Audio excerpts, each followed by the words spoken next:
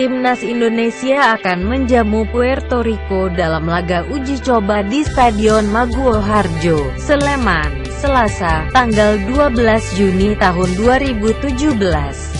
Partai uji coba ini merupakan yang kedua di kandang bagi pelatih Luis Milla setelah takluk 1-3 dari Myanmar, tanggal 21 Maret tahun 2017.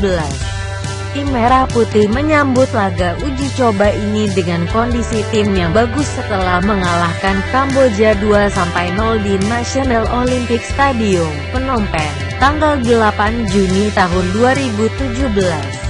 Mila pun berharap-berharap dukungan supporter tanah air dalam laga melawan Puerto Rico. Kami mengundang seluruh supporter datang ke stadion dan bisa mendukung permainan timnas Indonesia, ungkap Mila dalam sesi jumpa pers Senin, tanggal 12 Juni tahun 2017. Mila mengetahui jika kawasan di Yogyakarta merupakan basis supporter Fanati.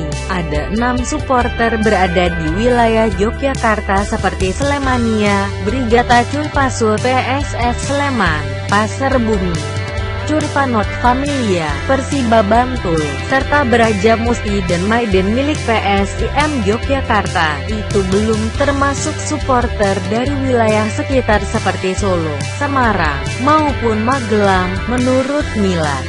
Dukungan supporter akan memberikan semangat tambahan bagi Bayu Pradana DKK. Saya tahu supporter di Sleman dan Yogyakarta sangat fanatik mendukung timnas Indonesia.